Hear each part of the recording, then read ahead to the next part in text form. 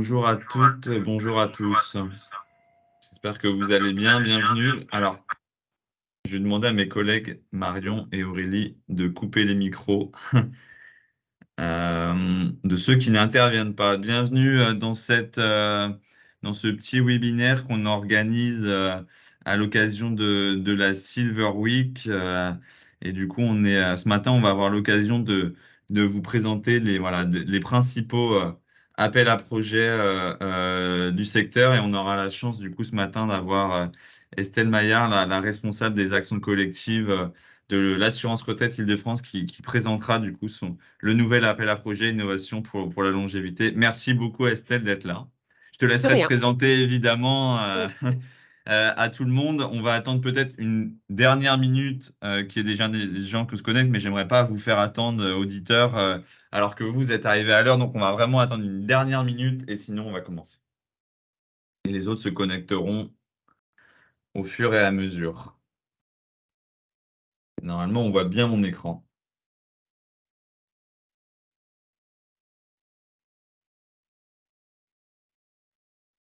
Alors, euh, au fil de la matinée, vous ne, enfin, voilà, à chaque, appel à projet présenté, on essaiera de, de, poser les questions dans la foulée pour pas avoir 50 questions euh, à, la toute fin. à la toute fin. Euh, ok, 10h05, je propose qu'on y aille et, et, c'est parti. Euh, la parole est à toi, Estelle. Merci à nouveau d'être euh, parmi nous ce matin. Eh bien, de rien. Et puis, c'est avec grand plaisir. Et merci également de l'invitation. Euh, donc, comme Titon le, disait en ouverture, donc moi, je représente l'assurance retraite Île-de-France. et je suis donc responsable des actions collectives de prévention, mais ce qui inclut également des activités de soutien à l'innovation. Donc, je vais vous faire une petite présentation du coup de, notre environnement de, soutien des, projets et puis avec du coup un focus là sur notre appel à projet spécifique qui est actuellement ouvert.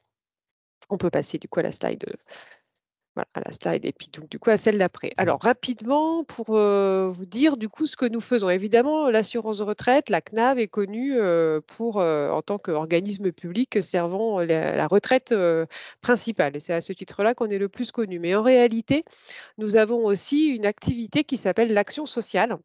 Et cette action sociale, elle, elle vise à promouvoir, favoriser l'avancée en âge de la, manière, de la meilleure manière possible. Et donc, on a une offre de services, on peut dire les choses comme ça, s'adressant donc à trois types de cibles. Donc, les jeunes retraités, donc vraiment ceux qui sont autour du passage à la retraite, qui ont moins de 70 ans. Les retraités qu'on va dire installés dans la retraite, mais qui sont encore toutes leurs capacités. Donc, globalement, c'est les personnes avant 80 ans. Et puis, les retraités traités fragilisés qui sont encore autonomes, hein, parce que du coup, euh, nous, notre cœur de cible, euh, ça reste quand même les retraités euh, autonomes. c'est plutôt les conseils départementaux qui, qui, adressent des offres pour les personnes qui sont vraiment dans la dépendance. Mais voilà, donc à partir peut-être de 80 ans, vous avez beaucoup de personnes qui sont certes autonomes, mais qui commencent à avoir quand même des besoins spécifiques et qui sont un peu fragiles. Donc, comment est-ce que nous se décline notre, notre action sociale? Vous voyez de, quatre, quatre, grandes façons. D'abord, on a une activité d'information, de conseil, de sensibilisation de l'ensemble des retraités aux bonnes pratiques qui vont être favorables à une avancée en âge, en bonne santé physique, psychologique, relationnelle.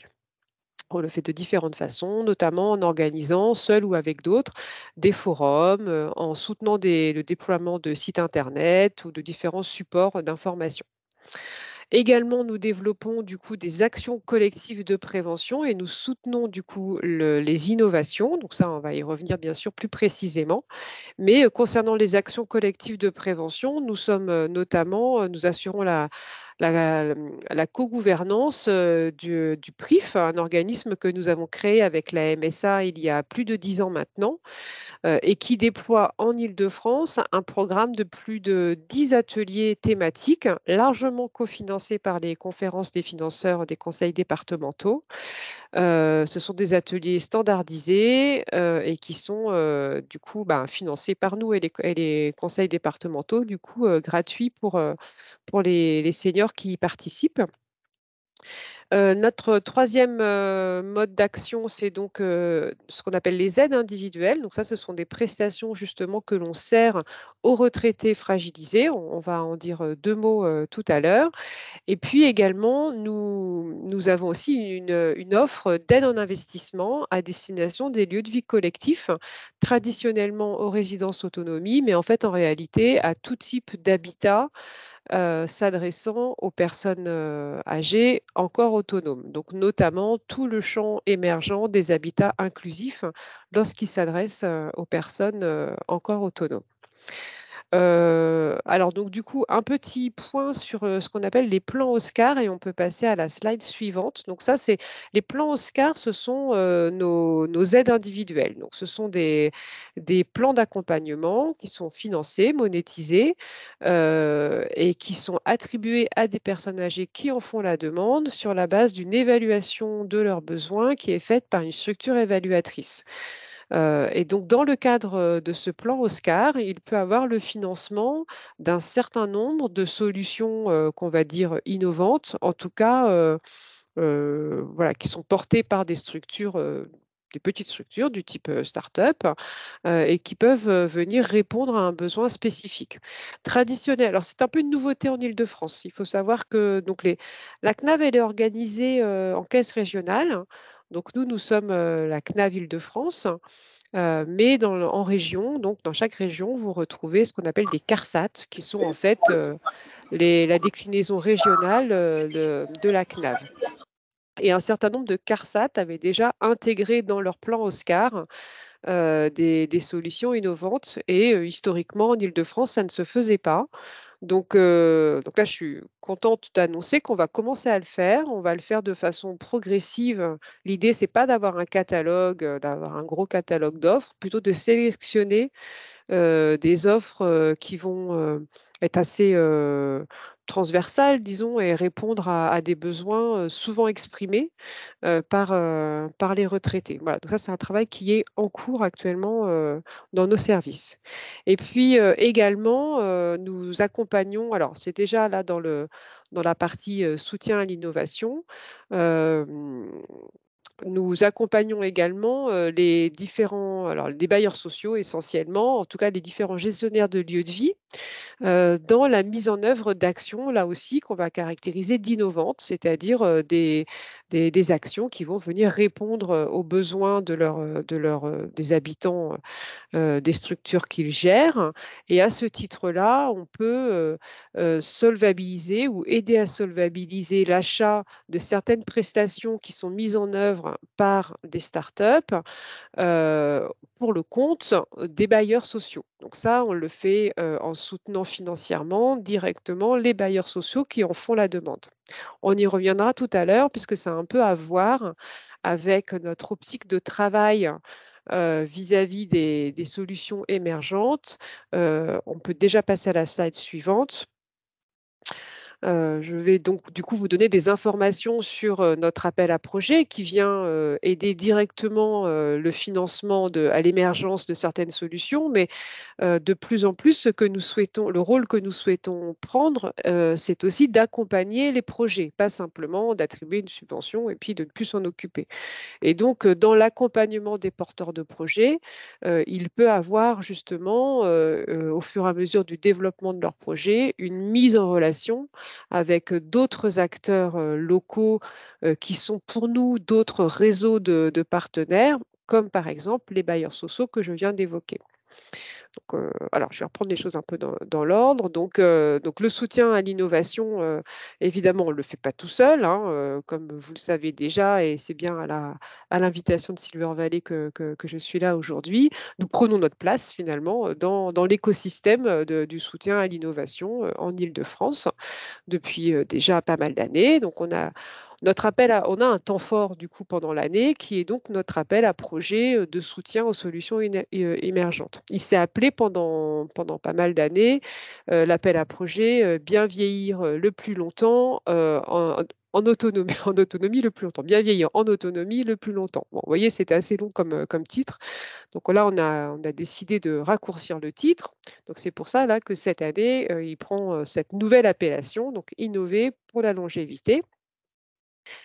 Et cet appel à projet, nous l'organisons, nous en sommes pilote principal, mais quand c'est possible, nous le coportons avec d'autres partenaires. Et cette année, on est très content de pouvoir le coporter avec la G2R La Mondiale et avec Malakoff Humanis, qui représente du coup bien sûr les deux, l'organisme Agir Carco.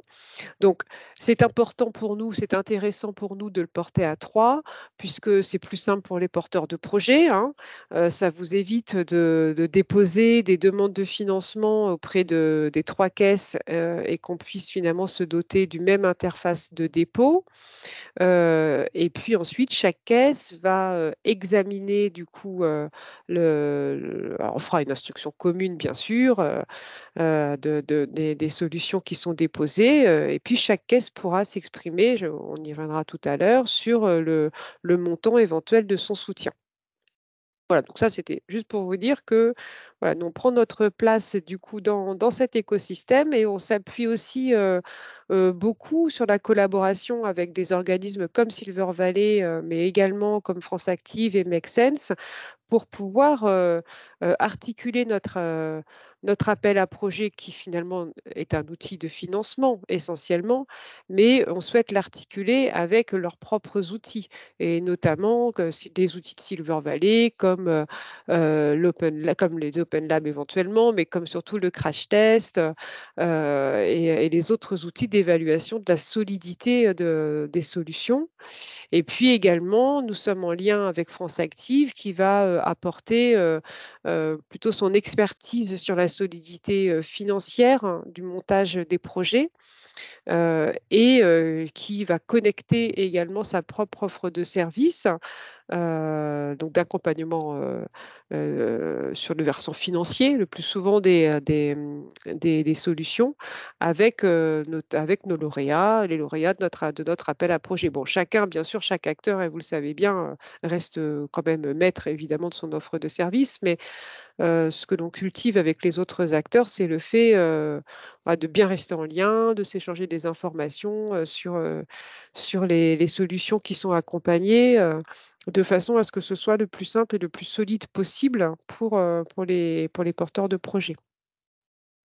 voilà, et donc peut-être cette cette ligne temporelle, là, cette flèche, elle vous montre, elle vous symbolise justement ce que je disais tout à l'heure, que on a vraiment l'envie de d'accompagner nos lauréats tout le temps finalement du développement de leurs solutions. Donc ça se fait de différentes façons. Donc comme je le disais, on va y revenir tout à l'heure, mais on peut vous financer un an, deux ans et qu'est-ce qui se passe après? Alors après, ça peut être par exemple que nous, on vous met en relation, comme je le disais tout à l'heure, vis-à-vis des bailleurs sociaux, avec d'autres acteurs de terrain qui sont également nos partenaires et que l'on soutient d'autres façons. Par exemple, nous soutenons les résidences sociales, nous soutenons, nous soutenons les centres sociaux, nous soutenons financièrement et en ingénierie, nous les soutenons sur le déploiement de leurs projets seniors, voilà, qu'ils déploient au local dans leur structure. Et donc, bien sûr, c'est parfois tout à fait intéressant de leur faire connaître des solutions qu'on a accompagnées en, en, émergence qui vont constituer des outils intéressants, des briques en fait intéressantes pour eux dans leur projet senior. Je vous donne un exemple. On a mis en relation et monté des expérimentations l'année dernière et ça se poursuit encore pour l'implantation entre guillemets de la solution Edukawa avec des centres sociaux qui ont traditionnellement une activité d'aide aux devoirs. Et donc la solution Edukawa qui vient donner des outils de, pour, pour équiper d'une certaine façon les, les, retraités qui veulent accompagner des enfants, soit leurs petits-enfants, soit d'autres enfants dans l'aide aux devoirs, en tout cas dans leurs apprentissages scolaires. ben voilà, c'est un outil qui les aide dans, cette, dans, cette, dans ce bénévolat-là. Et du coup, c'était intéressant de, de, connecter ces deux mondes. Donc ça, on essaye de le faire autant qu'on peut, voilà, et, avec vraiment en faisant feu de tout bois, entre guillemets, de toutes les, occasions que l'on identifie. Et puis, vous voyez aussi là la petite vignette Viva Lab. Donc Vivala, pour en dire deux mots, c'est un dispositif national euh, qui est piloté pour le coup par l'assurance retraite nationale, mais chaque CARSAT, et donc nous, CNAVIL de France, nous sommes la porte d'entrée vers ce dispositif-là. C'est un dispositif dont la vocation est d'accompagner des solutions vraiment sur un passage à l'échelle notamment sur le territoire national, mais vraiment cette notion de passage à l'échelle. Donc, lorsque on a euh, identifié, nous, euh, au local, des solutions voilà, qui ont déjà commencé à se développer, qui ont, qui par l'expérience et par leur déjà euh, par le début de leur déploiement entre guillemets ont déjà un peu fait preuve de leur potentielle solidité, eh bien du coup on n'hésite pas à leur proposer euh, de, candidater pour, euh, pour être accompagné sur ce niveau-là au niveau national avec du coup une autre offre de services d'accompagnement répondant à différents besoins. Voilà, là, on va maintenant, on va aller sur les sur des informations vraiment, centrées sur le sur l'appel à projet. Est-ce que vous voulez qu'on prenne parce que je crois que vous disiez qu'on pourrait, prendre des questions peut-être plutôt au fur et à mesure et pas que tout à la fin? Ah non, mais Estelle, je disais, peut-être on laisse présenter tout ton appel à projet, mais comme on a d'autres appels à projet qui sont présentés, je disais au fur et à Ah mesure et pas après la présentation Ah de tous les à OK, projet. OK, super, Donc je te laisse bien. poursuivre. OK, d'accord. Donc du coup, l'appel à projet, du coup, pour l'année 2024, comme je disais, innover pour la longévité, voilà, qu'on comporte du coup avec la G2R, la mondiale et Malakoff Humanis. Hein, on peut passer. Alors, qu'est-ce qu'il y a dans cet appel à projet? Donc, qu'est-ce qu'on vise? Donc, on, va intervenir en soutien des solutions euh, émergentes. Donc, les solutions émergentes, on a établi que c'était des solutions qui ont moins de deux ans euh, d'existence c'est pas forcément. Euh, on parle bien d'une solution, d'une proposition, pas forcément de la structure qu'il apporte. On peut imaginer des structures qui, qui existent depuis plus longtemps, qui ont déjà développé d'autres activités, mais qui là vont avoir un nouveau projet, une nouvelle proposition. Si ce nouveau projet a moins de deux ans, il peut être déposé dans le cadre de cet appel à projet.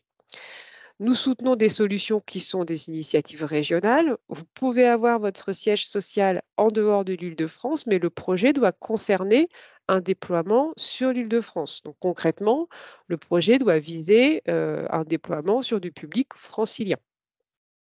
Et donc, et le public que votre, que votre solution doit viser, c'est du public retraité autonome, comme je le disais tout à l'heure. Alors après, retenez ça, c'est le plus important. Après, c'est vrai qu'on est particulièrement sensible aux propositions qui vont viser les retraités les plus fragiles. Alors, soit, des, soit, des, soit des retraités qui sont dans une période charnière de passage, hein, vous voyez, donc par exemple, le passage à la retraite est une période charnière, le veuvage en est un autre, par exemple aussi. Hein. Les retraités isolés, les retraités précaires, économiquement notamment, et les retraités qui commencent à être fragilisés du coup dans leur autonomie au quotidien. Mais bon, globalement, toutes les propositions visant du public retraité autonome, c'est éligible. Voilà, et donc évidemment des propositions qui concourent à un vieillissement en bonne santé, comme je disais, physique, psychologique, relationnel. On peut passer les thématiques, je ne vais pas tous les lire. Retenez que les thématiques sont assez larges. Hein. vous voyez, là, j'imagine qu'on vous transmettra les PowerPoint. On n'est pas trop restrictif, mais je peux éventuellement quand même vous donner un contre-exemple. Par exemple, nous, on ne va pas soutenir des solutions médicales, clairement. Et puis, et donc voilà, donc là, vous, vous y reviendrez ensuite pour, en prendre connaissance. Euh, vraiment thématique assez large répondant du coup à mmh, un spectre de besoins et d'aspirations dans le champ de la vie des gens, j'ai envie de dire, bah, le plus large possible au final. Euh, et puis avec peut-être un accent euh, euh, que l'on, ou en tout cas une, attention que l'on n'avait peut-être pas auparavant et que l'on aura davantage. ça nous intéresse de soutenir des solutions qui vont répondre à des besoins également locaux. Donc, euh, mais alors, c'est un peu subtil, hein. c'est-à-dire que en même temps, les solutions vraiment très locales, type associative locale, un projet senior local, euh, si c'est un centre social qui le porte, bah, évidemment, il ne sera pas éligible parce qu'on va. Ah, Estelle, on t'entend plus. Tu as dû toucher au micro.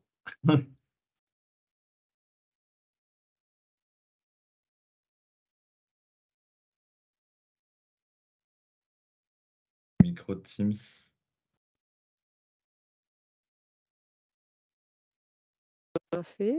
C'est bon, c'est bon, ah, c'est revenu. Ok, d'accord. On a quasiment rien raté, mais euh, juste un bout de phrase. Alors, je disais, il y a une petite subtilité, c'est que euh, les projets euh, ancrés euh, vraiment au local, portés par des associations assez traditionnelles, du type une association qui a un projet senior, il ne sera pas éligible à notre appel à projet parce qu'on va l'orienter vers les, plutôt les appels à projet des conférences des financeurs. Si c'est un centre social qui porte, bah, on va l'orienter vers notre appel à projet pour les centres sociaux puisqu'on a un dispositif dédié. Pareil, si c'est un bailleur social, on va plutôt l'orienter vers notre... On a un appel à projet ouvert tout au long de l'année, mais qui est spécifique pour les bailleurs sociaux. Par contre, des propositions innovantes, euh, issues plutôt de l'innovation sociale, qui viennent euh, créer des lieux ressources au local. Je pense à ce qui va être des tiers-lieux, des conciergeries, ce type d'initiative-là. Euh, comme on voit bien qu'on est encore dans le début de l'histoire de ce type de, de solutions, elles sont éligibles. On peut du coup, alors en émergence, Attention, hein. là on est bien dans un appel à projet qui va soutenir en émergence. Ça ne vise pas un financement pérenne. Mais si vous êtes porteur comme ça d'une solution euh, euh, assez locale, euh, mais proposant du coup un lieu ressource pour la population senior autonome du quartier, c'est éligible. Bon voilà, peut passer sur les thématiques où vous avez retenu qu'elles sont assez larges. Sur les critères d'appréciation, je vais surtout insister du coup sur les, deux premières au final. Bon, elles sont toutes importantes, hein, mais euh, la notion de complémentarité est très importante. C'est-à-dire que euh, nous sommes un appel à projet visant à soutenir les solutions neuves, les, innovations. Hein, je, j'enfonce une porte ouverte, mais je préfère le redire. C'est-à-dire que nous ne sommes pas une structure euh, d'aide au développement d'entreprise, même si souvent euh, l'un va avec l'autre. Mais si vous, votre solution, elle, euh, elle adresse un marché qui est déjà ouvert, avec déjà des concurrents qui, qui finalement ont une offre de service, une offre très similaire, ben, vous ne serez peut-être pas retenu parce que vous ne serez peut-être pas suffisamment complémentaire. Donc, vous avez bien sûr, c'est tout à fait possible de proposer une solution euh, euh, adressant, enfin, du type, euh, se rapprochant de solutions déjà existantes, mais avec des points différenciants. Quoi. Nous, ce qui va, on va être attentif aux points différenciants. Donc, ça va être de l'innovation, soit dans la façon de, de mettre en œuvre l'offre, soit dans la façon, soit dans le public visé également, et donc du coup d'aller chercher un public spécifique, euh, soit éventuellement aller dans un territoire qui n'a pas été, euh, qui n'est pas visé par les concurrents entre guillemets, euh, et donc en organisant l'offre, en la déployant d'une façon différente pour pouvoir être bien adapté à ce territoire-là. Donc la notion de complémentarité, voilà, ça c'est vraiment important. bien sûr, il ne faut pas faire les choses tout seul dans son coin. Vous êtes dans un écosystème, il faudra nous montrer que vous avez repéré, euh, que vous avez des points de repère dans cet écosystème en fonction du besoin que votre offre adresse, quels sont les autres grands acteurs que vous avez repérés? Quand je dis des autres grands acteurs, ce n'est pas forcément simplement les startups concurrentes. C'est voilà, les acteurs publics, privés, euh, qui, euh, qui, qui, structurent déjà ce, ce domaine d'activité. Euh, voilà, et puis euh, également euh, toute la question de l'accessibilité financière associée à la solidité du modèle économique. On sait que l'équation n'est pas facile, hein. on vous en demande beaucoup, hein. mais bien sûr, c'est un point d'évaluation de, la qualité de votre projet. voilà, comment est-ce que vous vous projetez dans, comment vous projetez votre modèle économique après la période de soutien à l'émergence et avec dans quelles conditions d'accessibilité financière pour le public? On peut passer. Alors, le nerf de la guerre, qu'est-ce que vous pouvez pouvoir, qu'est-ce que vous pourriez obtenir de, de, notre, appui? Donc, au niveau de l'assurance retraite, on peut intervenir en soutien de dépenses de fonctionnement et d'investissement, pas de problème. Donc, si vous êtes retenu, bien sûr, il y aura une convention. Donc, comme je vous le disais, les projets sont analysés par les trois caisses. On fait une instruction qui est commune, mais ensuite, chaque caisse décidera du soutien et conventionnera le cas échéant avec, avec le porteur. Donc nous, Assurance Retraite Île-de-France, on peut soutenir un projet jusqu'à 50% du budget global du projet. On parle de budget sur un an. La G2R La Mondiale jusqu'à 30%, Malakoff Humanis jusqu'à 30%. À nous trois, on ne va pas vous soutenir à 110%, entendons-nous bien. Mais pas vraiment à 100% non plus, voilà. Donc ça, on n'a pas mis, on n'a pas on s'est pas mis une limite particulière, mais si le si le projet intéresse les trois caisses, on regardera en fonction aussi du budget et puis des autres financements, et de l'état de développement de la structure, sur quel pourcentage on l'accompagne chacune, individuellement voilà, bah, ça c'est bon du coup je crois pour cette slide-là. Et donc, que vous dire d'autre? les projets sont à déposer sur la plateforme démarche simplifiée, donc vous avez là le lien et donc ça y est, l'appel à projet, a été publié, la semaine dernière. Il est ouvert jusqu'au, du jusqu'au 10 décembre, donc 10 décembre. Vous n'avez pas la date de alors attends, c'est la slide d'après, non? Il n'y a plus de slide après. Ah bon? Bah alors, euh, bah alors il n'y a pas la date de fin de, clôture là. C'est moi qui vois mal? En fait, je vois pas le haut de la slide. Sur la première ligne, elle est sur la première ligne, 10 décembre, 23h59. Ah voilà, d'accord. C'est parce que je vois pas en fait. D'accord, ok. Donc voilà, donc sur le calendrier global, du coup, les auditions auront lieu au mois de janvier. Alors c'est un process qui est forcément un peu long. Hein. Nous sommes des caisses de retraite. Évidemment, on a une gouvernance interne qui n'est pas des plus rapides. Retenez que globalement, en tout cas pour ce qui concerne l'assurance retraite, pour les lauréats qui seront donc qui auront déposé en décembre, du coup au plus tard, qui auront été sélectionnés, enfin auditionnés du coup en janvier, sélectionnés à la commission de mars. les premiers versements d'acompte ont lieu à l'été. Globalement, c'est ça. Hein, puisqu'on a des délais de confirmation de validation, des délais légaux également. voilà, donc il ne faut pas être trop pressé quand même, je préfère le dire. Hein. Et puis voilà, Merci beaucoup Estelle, merci infiniment. Est-ce que vous avez des questions pour, pour Estelle? Je vous invite à les, à les noter dans le chat si vous en avez. On a, on a du, un peu de temps pour y répondre. Avant de passer à la présentation des, des prochains appels à projet, bien sûr. On va laisser une minute. Là, on a, je sais pas, il y a une question d'une mairie. Je ne sais pas si, euh, je sais pas si c'est une question. Il n'y a pas de question. Il n'y a pas de question, c'est vrai. Donc, donc, en tout cas, si la question est de savoir si les collectivités territoriales peuvent candidater, non, les collectivités territoriales ne peuvent pas candidater parce que nous vous orientons vers la conférence des financeurs. Nous sommes membres des conférences des financeurs, donc il faut savoir que si on, par contre, quand on repère des projets euh, qu'on réoriente, euh, on en parle après aux conférences des financeurs aussi. Hein. Euh, donc on fait partie du jury des conférences des financeurs. On en dira un mot juste après justement de la conférence des financeurs pour, euh, pour tout le monde. B2C euh. euh, ou B2B, pas de problème. Les, les, les, deux sont possibles. Alors, on a une question, Pauline, je pense que tu avais déjà répondu. Oui, c'est le projet. Hein. C'est le projet qui doit avoir moins de deux ans et non pas la structure.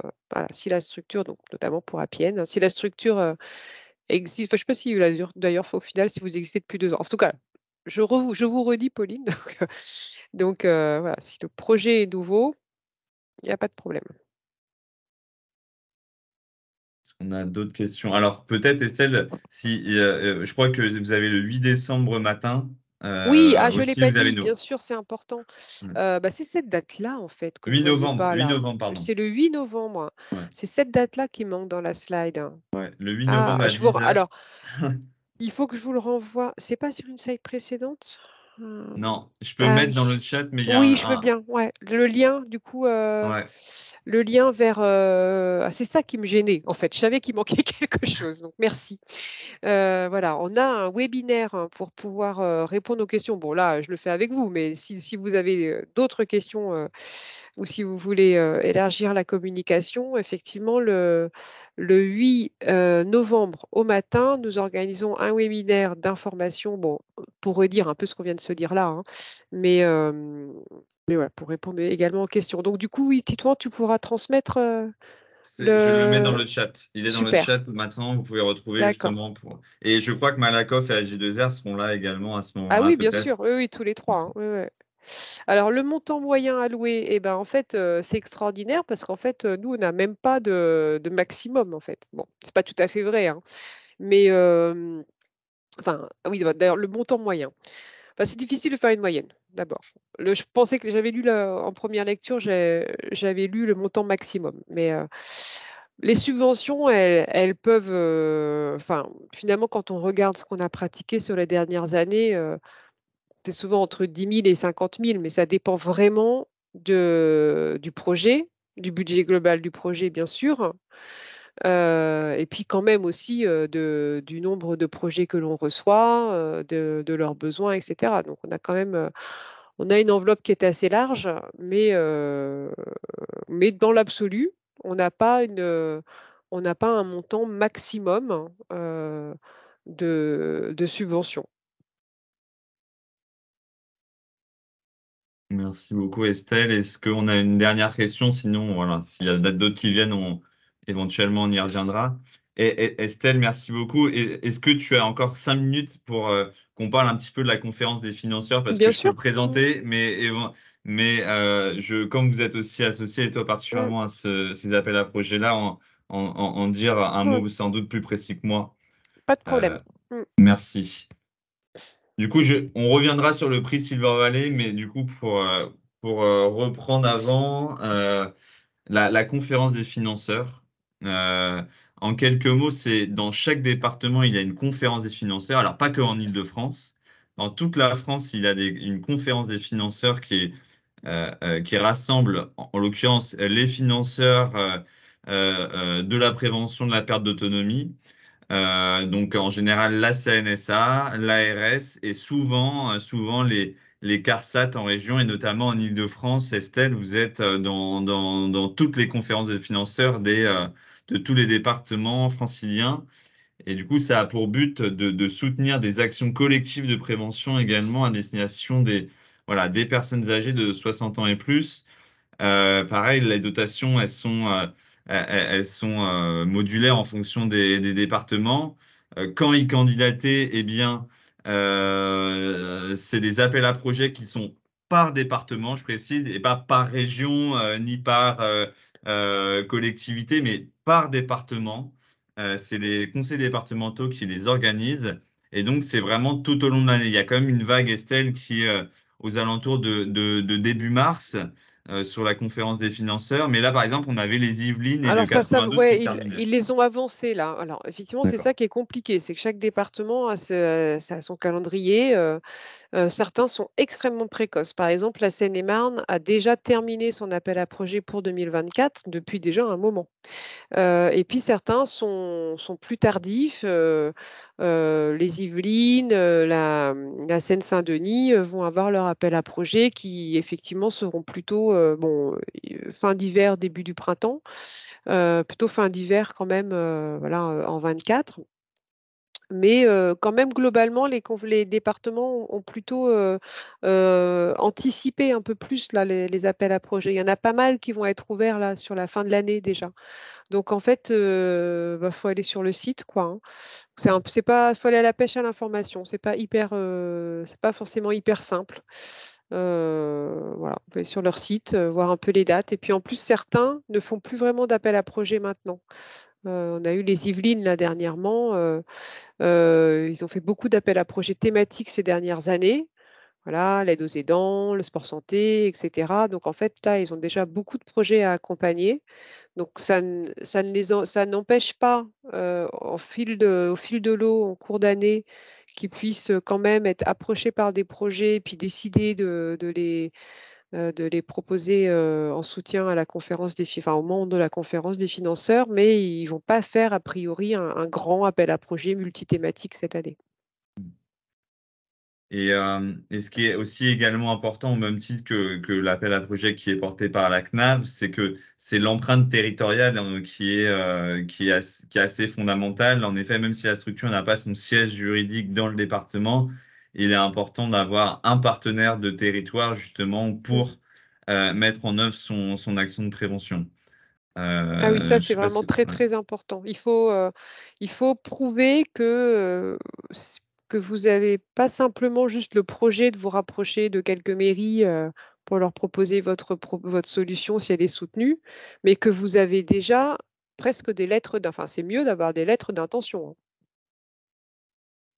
Sur l'application de, vos solutions. Est-ce que tu veux dire peut-être un mot, Estelle, encore sur la conférence des financeurs, un, bon projet de conférence des financeurs qui, euh, bah, juste dire que c'est quand même piloté au global par la CNSA et que euh, la CNSA euh, souhaite, dans un travail conjoint avec les départements, hein, souhaite pouvoir modéliser de plus en plus des, mmh, des solutions qui auront le plus d'impact.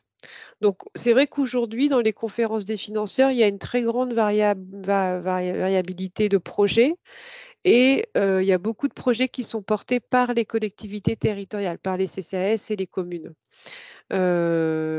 qui ont peu de moyens. Et donc, au final, les départements, quand même, ont souhaité que ce, que ce, que cette offre en soutien financier leur soit accessible de façon quand même impactante. et à côté de donc c'est pour ça que c'est très très important si vous si vous souhaitez aller chercher des financements auprès des conférences des financeurs de bien avoir travaillé vos partenariats locaux. Il faut bien montrer que vous vous associez à un acteur local pour pouvoir l'aider d'une certaine façon à développer voilà, une offre pour les seniors pertinente sur son territoire. mais au-delà de ça, et au-delà de ça, donc c'est un peu, je ne sais pas si c'est contradictoire, mais en tout cas, il y a deux mouvements. Il y a ce mouvement-là qui est plutôt né de finalement de l'historique du développement des conférences des financeurs depuis 2016 et puis le mouvement qui est peut-être finalement l'avenir, euh, qui est souhaité par la CNSA, qui est un peu de rationaliser quand même la typologie de projet accompagné. La CNSA vient de créer un centre de preuve qui aura notamment pour euh, vocation de travailler conjointement avec les conférences des financeurs pour pouvoir identifier euh, vraiment les, solutions euh, les plus le type, la typologie, si vous voulez, de solutions les plus impactantes pour en faire des programmes de prévention prioritaires. Programmes de prévention prioritaires. Donc ça, ça va devenir une grille de lecture quand même dans les années à venir. Voilà, qui va peut-être un peu éviter l'éparpillement des projets. donc il faut savoir qu'on est dans ce double mouvement. En effet, ils vont vouloir évaluer et référencer des pratiques, euh, des bonnes pratiques de prévention. Euh, mm. Si je reprends en effet la, sémantique exacte. On a une question euh, là-dessus de la part de Ariane. Est-ce que ce qu'il dit, c'est surtout à destination des associations? Ben, ça dépend un peu de. C'est assez politique. Hein. Vous voyez, dans les conférences des financeurs, c'est et c'est piloté par, par des collectivités territoriales. Il y a, un certain nombre d'élus qui siègent en, conférence des financeurs. Donc, euh, donc euh, il y a, dans certains départements, c'est vrai que euh, les, les entreprises sont très mal vues voilà, et ne vont pas être soutenues. on n'est pas là pour soutenir le, marché privé.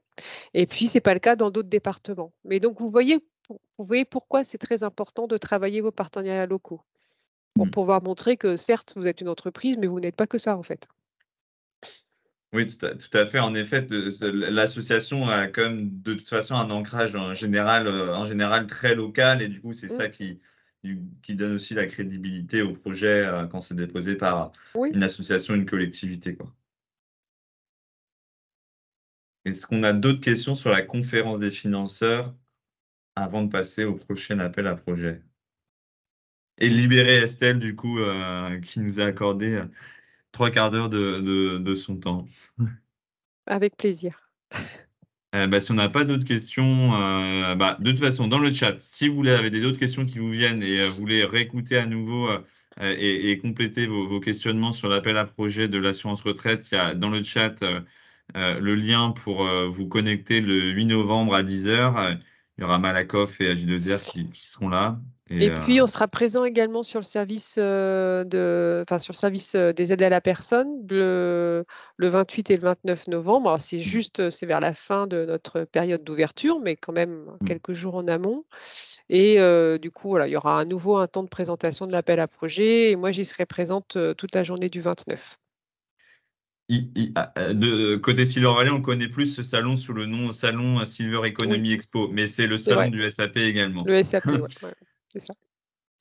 Merci beaucoup Estelle. Merci à bonne vous. Bonne fin de semaine. À bientôt. Vous aussi, bonne journée. Au revoir. Au revoir Estelle. Euh, continuons donc euh, nous sur le prix Silver Valley, euh, si ça vous convient. du coup, le, prix Silver Valley, bah, comme son nom l'indique, c'est un prix d'innovation qui, est porté par Silver Valley. Historiquement, vous, il était connu sous le nom de la Bourse Charlefoix. Euh, et comme euh, on est très humble chez Silver Valley, on le considère, nous, évidemment, comme euh, le meilleur de tous les appels à projets, en tout cas le, plus rigoureux et celui qui a révélé le plus de projets. et en fait, on peut, s'en féliciter parce que depuis que l'appel à projet existe, donc sous le nom pour Charlefoix avant et maintenant prix Silver Valley, eh bien, c'est vrai que ça a révélé chaque année le futur champion du secteur. Alors, euh, euh, il, y a, quelques années, c'était euh, Medialis, et du coup, il y a Michael qui est là, le fondateur, qui nous écoute également. Medialis qui l'avait gagné. Il y a eu, pour ne pas les citer, WeHelp, Familéo, Ozoai, Cette Famille.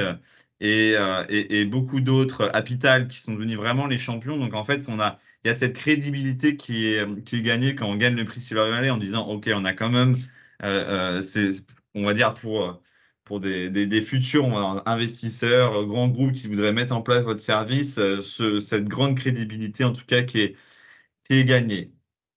Euh, hop, je continue sur mes slides. Alors, je ne vais pas vous lire le pitch, mais voilà, c'est ce que je viens de vous dire.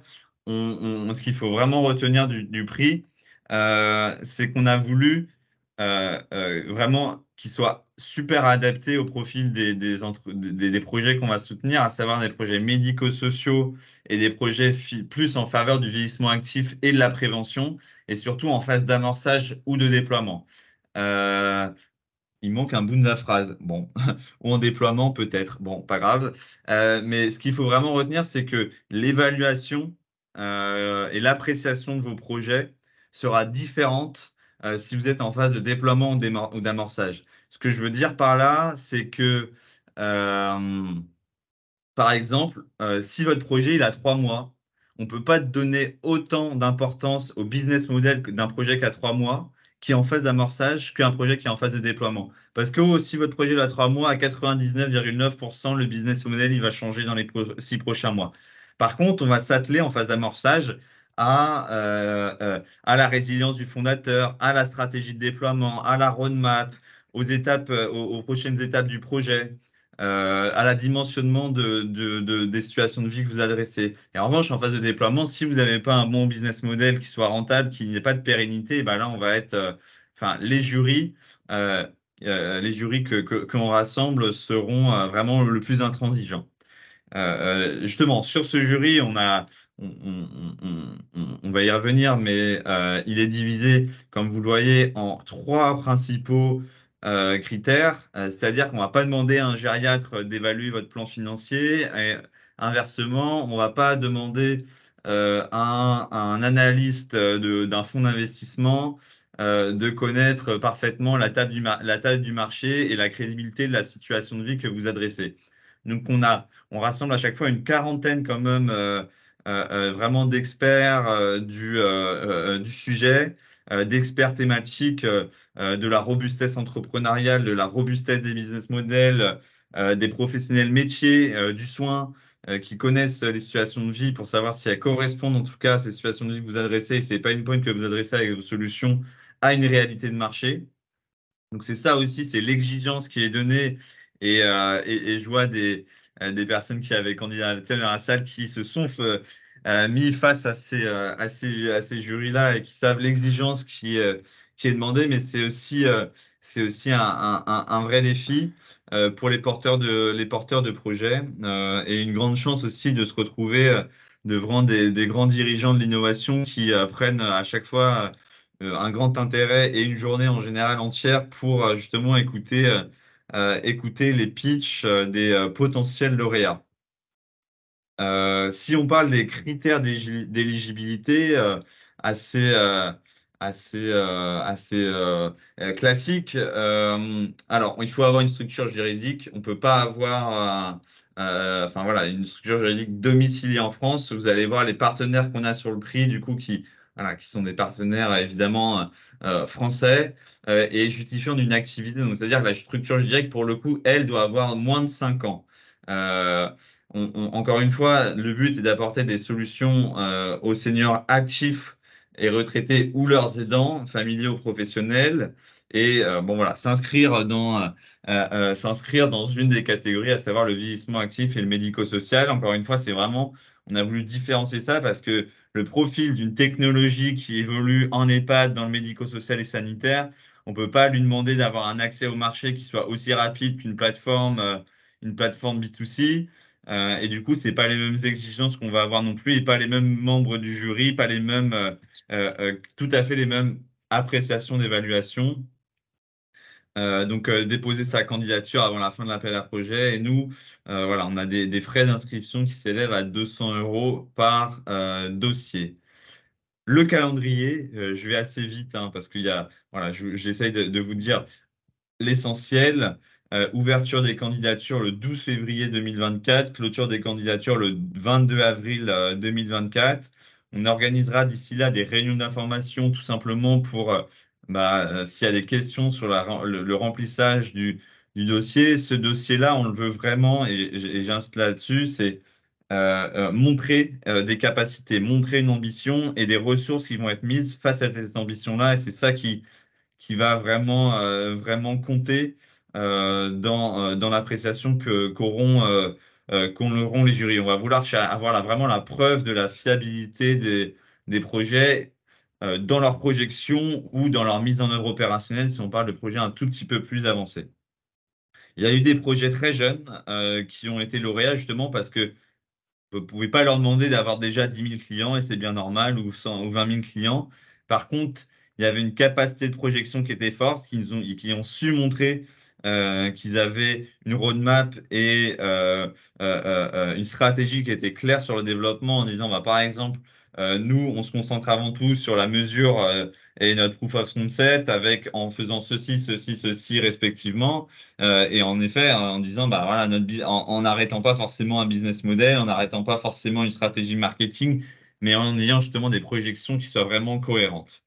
et donc, voilà, il y a euh, ce qu'on appelle, nous, le jury RUIS. Alors, c'est un peu notre, euh, notre jargon, mais c'est robustesse, utilité, innovation. Et on a un jury de seniors aussi qui, qui, pondère euh, cette, cette évaluation-là, parce qu'encore une fois, on pense que de toute façon, l'innovation ne peut pas être appréciée sans les principaux, les principaux intéressés. Et de toute façon, notez déjà les agendas, c'est dans huit mois, mais le 13 juin, on se retrouvera pour une remise des prix avec également les, membres du jury. C'est toujours un moment euh, très sympa. On a eu la chance d'avoir euh, le ministre qui est venu euh, à notre dernière remise des prix et qui avait remis d'ailleurs un prix à un des lauréats.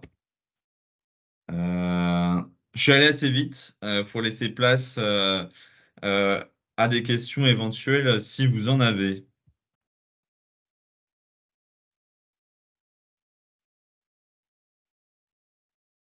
Que j'ai oublié des choses euh, En attendant les questions, je peux peut-être éventuellement un, peu euh, euh, compléter certains propos.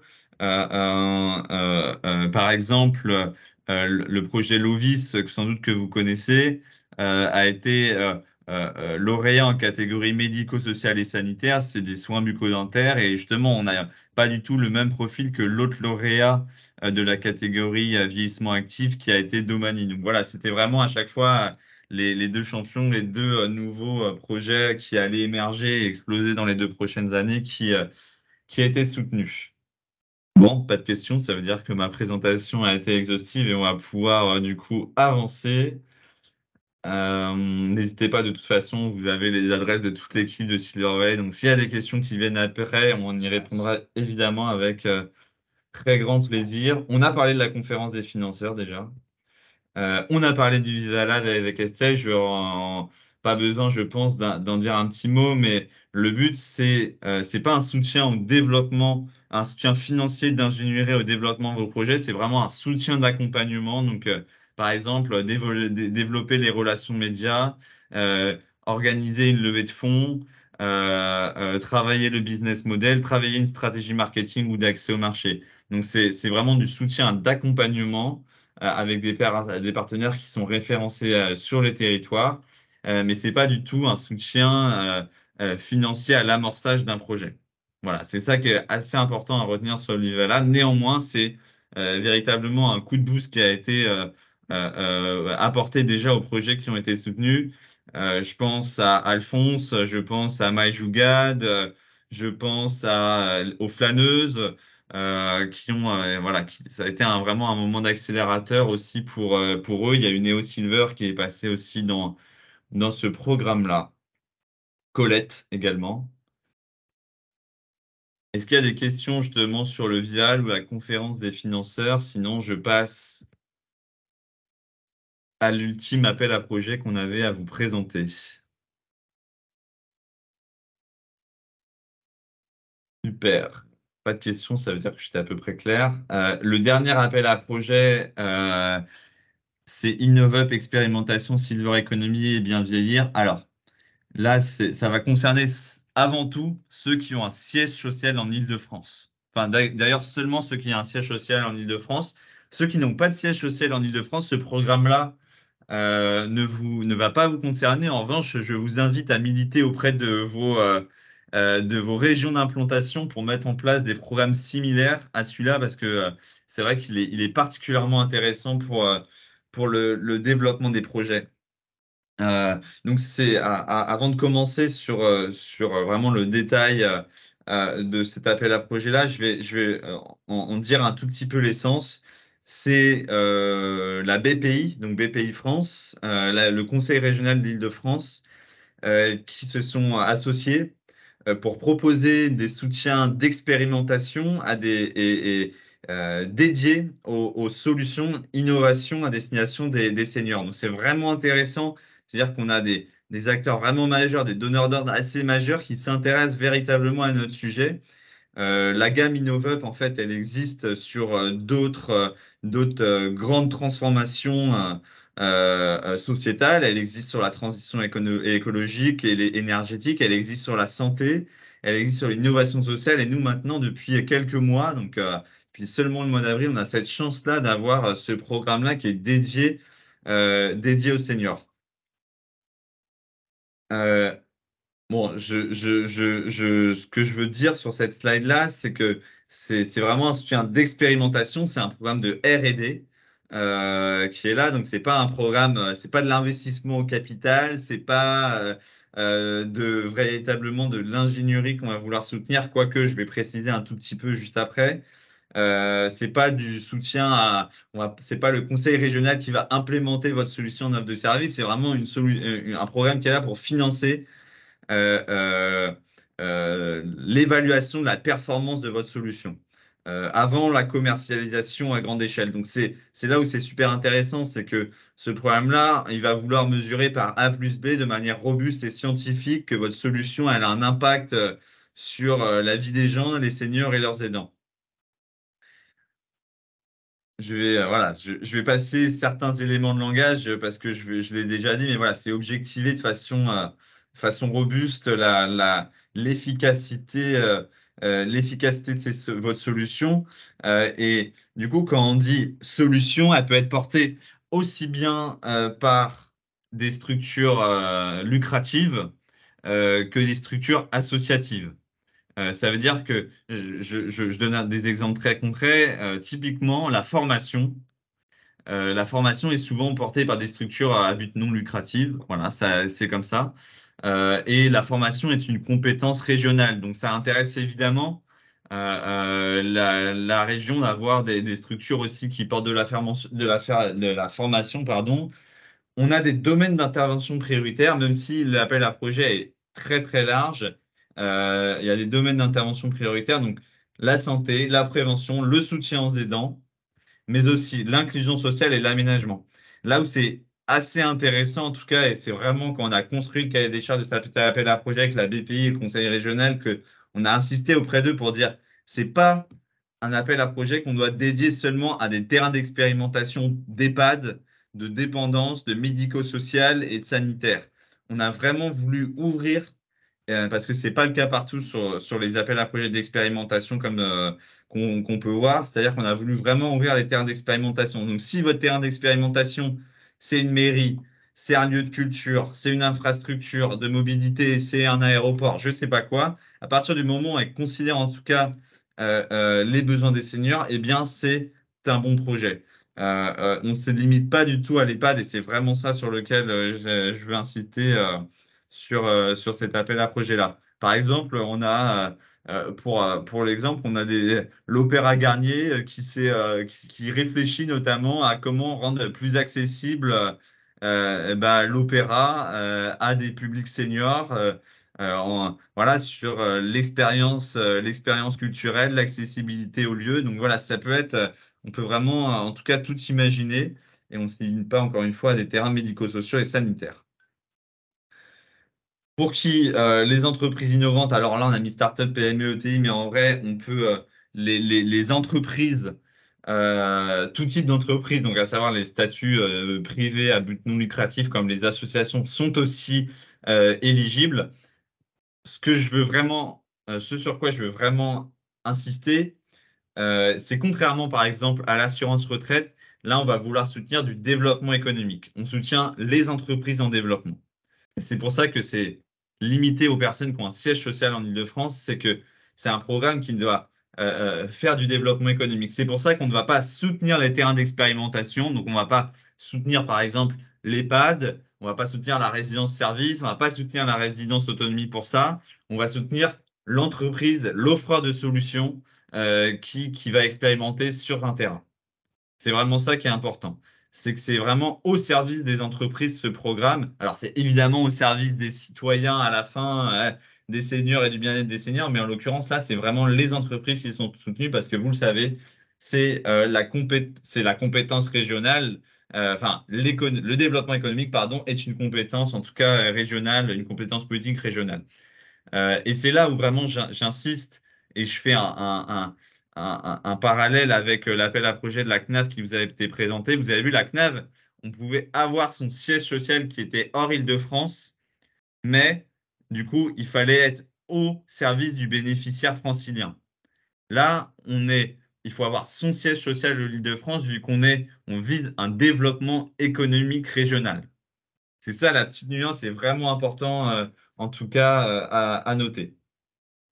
Mais si, alors je précise, mais s'il y a des terrains d'expérimentation qui nous écoutent, alors des résidences, euh, peu importe, qui souhaitent accueillir des expérimentations euh, dans leur lieu, eh bien, pareil, vous pouvez faire appel à nous et j'y reviendrai. Je vous donnerai tous les moyens de nous contacter, en tout cas, euh, là-dessus, pour poser toutes vos questions et, euh, et, et, du coup, déposer vos projets.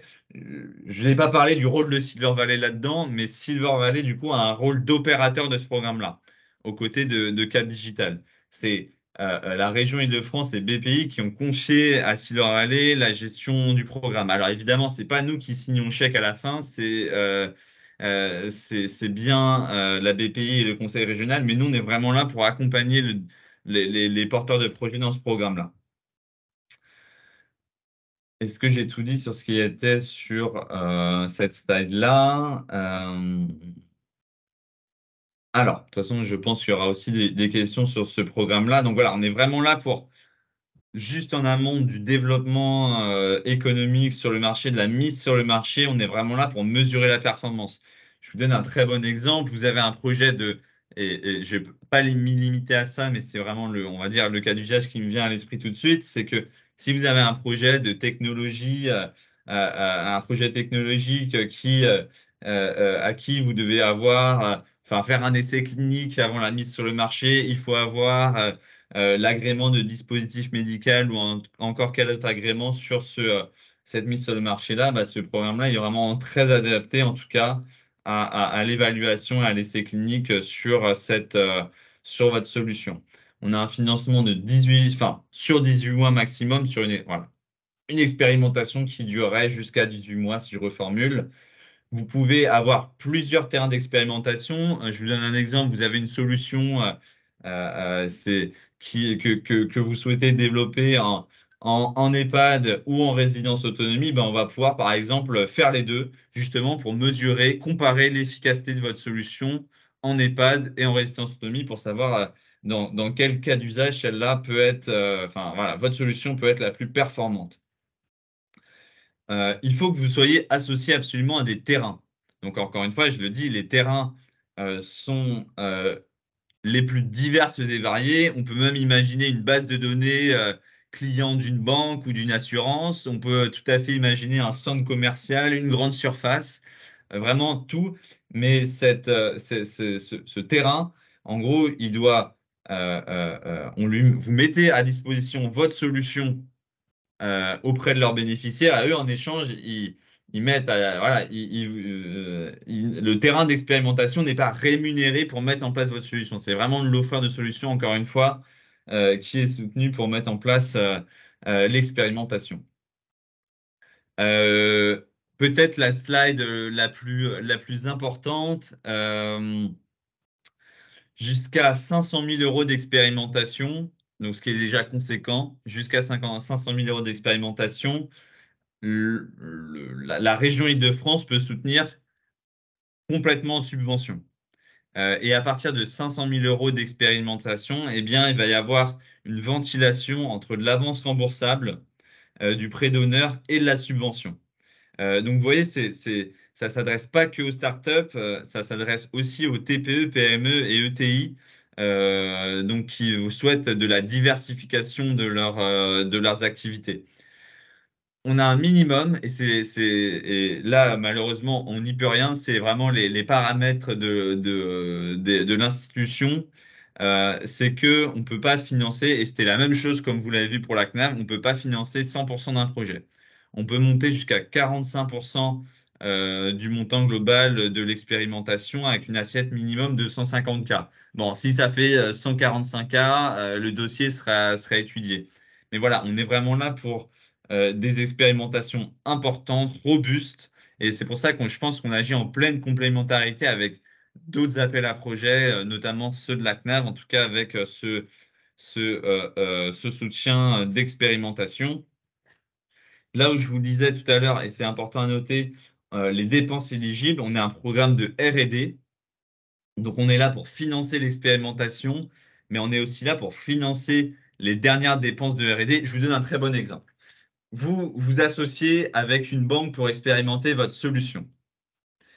Euh, et qu'il faut faire des adaptations euh, du X de votre solution pour que ce soit adapté euh, au logiciel de la banque, et eh ben nous, on peut financer ces dépenses de R&D qui sont liées au prototypage pour que votre solution soit adaptée et interopérable avec les, les systèmes de la banque. Donc, on peut financer, on peut financer typiquement ce type de prototypage je donne un autre exemple. Vous devez financer euh, une étude pour euh, avoir que votre solution soit dispositif médical. Bah, on peut financer ces prestations juridiques externes et de conseil euh, qui sont aussi bah, forcément liées à l'expérimentation. On peut financer la sous-traitance. On finance aussi vos ETP. C'est-à-dire que si y a dans l'expérimentation, il y a un chef de projet qui va être là euh, qui va être là à 0,5, 0,6, 1 ETP par mois, bah, voilà, on va financer euh, cet ETP-là qui sera dédié euh, à l'expérimentation. Si vous avez besoin d'ingénieurs pour développer le temps de l'expérimentation, certaines choses, encore une fois, liés au périmètre de l'expérimentation, eh ben, on va savoir aussi les, financer. Et évidemment, si on est sur, là, on est quand même sur des, on, est, on est quand même sur des, des programmes importants et souvent, c'est apprécié côté BPI, du conseil régional, que vous fassiez appel à un évaluateur externe. Euh, en Ile-de-France, on a notamment le Gérondif que vous connaissez tous, le Gérontopole d'Île-de-France, qui est vraiment très qualifié, en tout cas comme évaluateur externe, pour, euh, euh, parce que c'est leur métier de, justement de rendre robustes ces évaluations pour que vous ayez une vraie appréciation scientifique de la performance de votre solution. Est-ce que je vais passer? Oui, ben, ça, j'ai déjà, déjà tout dit, mais encore une fois, le but, c'est de capitaliser sur cette expérimentation et cette mesure de, euh, euh, de la performance de votre solution pour accélérer ensuite une mise sur le marché et un développement global. Le but étant évidemment de, euh, de, de, comment, non, j'ai plus le mot qui vient en tête, mais de crédibiliser voilà vos solutions auprès de vos futurs, bah, vos futurs clients.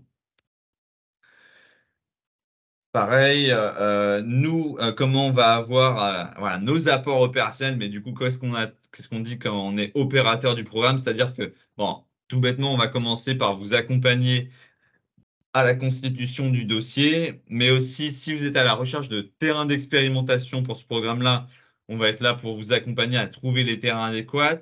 De l'autre côté, si vous êtes terrain d'expérimentation et vous nous faites remonter vos besoins, en tout cas, euh, vos besoins prioritaires, nous, on va vouloir chercher justement des innovations qui vont être les plus appropriées euh, à une expérimentation sur le terrain. Et voilà, notre but, c'est d'accompagner la mise en œuvre de l'expérimentation et son suivi. J'en arrive à la fin. Euh, si vous souhaitez rentrer justement dans ce pipe, dans, voilà, dans, notre, dans notre processus InnovUp, alors c'est on a quand même cette grande chance avec Cap Digital et Silver Valley, c'est qu'on est des petites structures, on n'est pas des administrations, et c'est pour ça que la BPI et le conseil régional nous ont confié les opérations de ce programme-là. C'est que nous, en tout cas, on essaie d'aller très très vite euh, et on est vraiment super agile sur, euh, euh, sur le moment où vous engagez dans ce, dans ce programme-là, qui, je précise, est ouvert en continu. Il n'y a pas une date de début, il n'y a pas une date de fin. Euh, il est ouvert en continu, donc euh, c'est vraiment, et ça a quand même le grand avantage de dire, OK, on est là vraiment au bon moment et pas à un moment qui, euh, qui est contraint par, par une date de début et de fin d'appel à projet. Voilà. Donc, si vous êtes une entreprise et vous voulez rentrer dans ce pipe-là, je vous invite à flasher le QR code. On vous enverra les présentations de toute façon, mais à flasher le QR code entreprise pour vous référencer, qu'on revienne vers vous pour engager de façon personnalisée la démarche euh. Si vous êtes plutôt un terrain d'expérimentation et que vous voulez accueillir des innovations et des expérimentations euh, euh, dans votre structure, eh bien, vous avez qu'à flasher le, formulaire de terrain d'expérimentation. On a une adresse aussi qui est générique. Et, bon, voilà, c'est c'est comment Jennifer côté Cap Digital et moi qui répondrons à toutes vos questions et qui seront en direct là-dessus. mais pour mais s'il vous plaît, ne me contactez pas directement là-dessus. Remplissez le formulaire pour qu'on vraiment on ait une bonne vue de, euh, de qui on suit, qui on suit pas. Parce que comme on suit un nombre important de projets là-dessus, il faut vraiment que euh, euh, on, on, vous aide dans notre, dans, notre, dans notre giron. Voilà, très opérationnel, très terre à terre comme, comme conseil, mais c'est hyper important pour nous le suivi des projets. eh bien, c'est tout. À vos questions et je vais arrêter mon partage. Désolé, ça a été super dense, mais en 1h10, on a, je pense qu'on a été assez efficace pour vous présenter une très bonne vue de tout ce qui se faisait. Euh, et je suis là pour, pour vos questions. De toute façon, il y en a beaucoup, en tout cas, comme le prix Silver Valley, euh, même l'appel à projet de la CNAF, sur lequel on est associé également euh, en tant qu'accompagnateur pour les lauréats.